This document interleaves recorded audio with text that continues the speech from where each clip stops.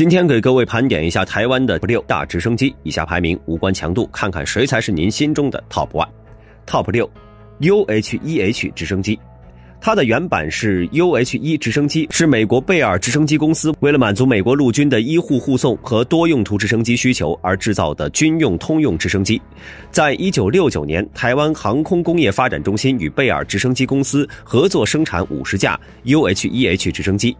首架直升机在一九七零年十二月十四号出厂，到了一九七一年七月。航空工业发展中心在首批五十架完成后，又继续生产了六十八架的 UH-1H，并于一九七六年完成全部的一百一十八架 UH-1H 的生产计划，并且全部交付台湾陆军使用。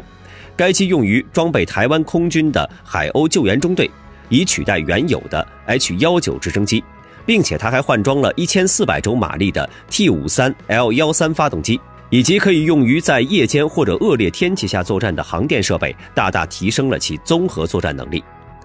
Top 五，OH-58D 侦察直升机。它是美国贝尔直升机公司研制的轻型直升机，根据贝尔 206A 喷射骑士改装生产。该机的最初版本在1968年就开始在美军服役，其中 OH-58A、OH-58B、OH-58C 为侦察直升机，而在台湾服役的 OH-58D 奇奥瓦勇士为武装版。主要是担任陆军支援的侦察任务，不仅可以单独执行战术侦察任务，也可以协同专用武装直升机作战，或者为地面炮兵提供侦察、炮教的工作。OH-58D 直升机沿用了 A 型的机身，加强后的机体结构大大延长了它的服役寿命，并且它还改用了四叶复合材料主旋翼，不仅增加了机动性，而且还能减小震动，提高可操作性。这使得 OH-58D 在恶劣天气条件下仍能保持良好的纵向操作性能。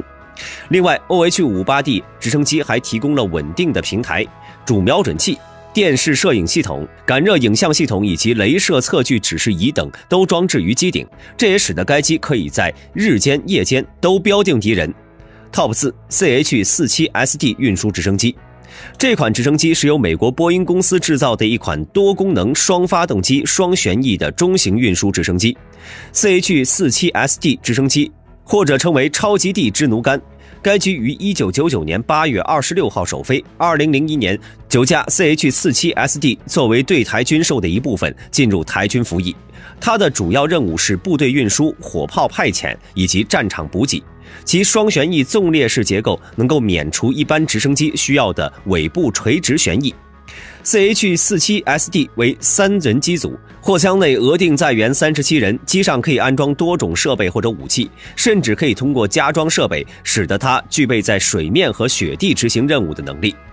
CH-47SD 的动力为两台 T55-714A 涡轴发动机，最大起飞重量达到了两万四千五百公斤。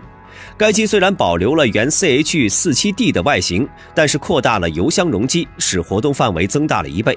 此外，CH-47SD 的座舱设计和相关设备还能使驾驶员能够在各种飞行条件和不利天气条件下执行任务。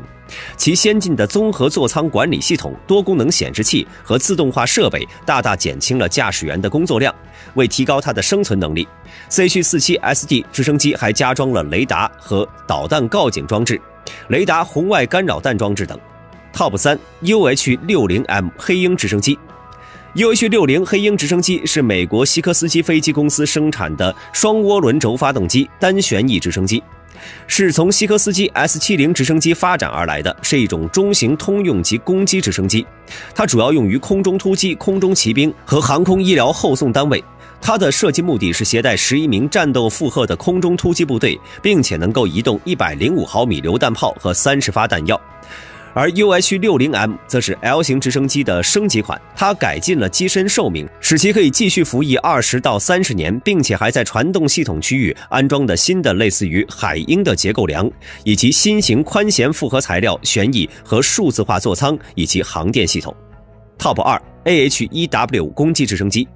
AH-1W 型超级眼镜蛇武装直升机是美国陆军首款专门设计的攻击直升机，也是台湾军队现役主力的攻击直升机，是其立体抗登陆作战攻击地面装甲目标的主要空中火力平台。该直升机的主要用途是为其他运输直升机护航和实施火力支援，还可以用于攻击地面装甲目标。它整体采用流线型机身，体积较小，不仅机动性能强大，还有着强大的伪装能力，可以在丛林中飞行。它的动力装置是两台 T700GE 401涡扇发动机，最大速度282公里每小时，最大航程635公里，巡航高度4495米，载弹量1119公斤，最大起飞重量6690公斤，并且相较于阿帕奇直升机，这款直升机相对而言更容易维护，而且其狭窄的正面会使它更加难以被攻击，从而拥有防守优势。A H 一眼镜蛇直升机曾在1967年美军装备后，即被大量用于越南战场，主要用于支援和地面配合部队作战。战斗时，A H 一眼镜蛇可以突击地面火炮不能有效压制的目标，并且和地面部队部署在一起，只需要战斗需要便可以出动。除此之外，眼镜蛇直升机还在1968年的新年攻势和1971年的老挝春季战斗中被大量使用，这也足以显示它的优越性。在海湾战争中，眼镜蛇和海眼镜蛇被分配执行支持任务。大约七十八架海军陆战队的眼镜蛇执行了一千二百七十三架次的任务，没有作战损失，只有一架是在非作战任务时损失。Top 一 AH 六四 E 直升机。它可以说是目前世界上综合性能最强的一款武装直升机，而台湾的这款直升机呢，则是由大名鼎鼎的长弓阿帕奇升级而来的，主要是用于猎杀硬性目标的专业反坦克直升机。而且为了更好的区分，AH 六四 E 直升机被它的开发小组亲切地称为“守护神阿帕奇”。这款直升机的主要改良在于大幅度提高了它的数码信息连接能力，能够与联合战术情报分配系统相融。它的新型火控雷达将原本八公里的探测距离拓展到了十六公里，并且还可以对海上目标进行探测和瞄准，并且它还拥有遥控无人航空载具，具备指挥多架无人机进行协同作战的能力。改良过后的起落架以及复合材料制成的新旋翼，大大提升了新机型的巡航空速、爬升率以及有效载荷能力。在换装了输出更高的 T700GE 701D 发动机之后，该直升机拥有了293公里的恐怖时速。至于该机的武器系统，则没有大的升级改动，配备有一门30毫米机炮，并且还可以携带两枚 AGN-122 空对地反辐射导弹，以攻击雷达目标。并且它还拥有威力强大的地狱火反坦克导弹，该机地狱火导弹挂载量是台军现役眼镜蛇直升机的两倍，再搭配上毫米波雷达探测，使其拥有极强的空对地作战能力。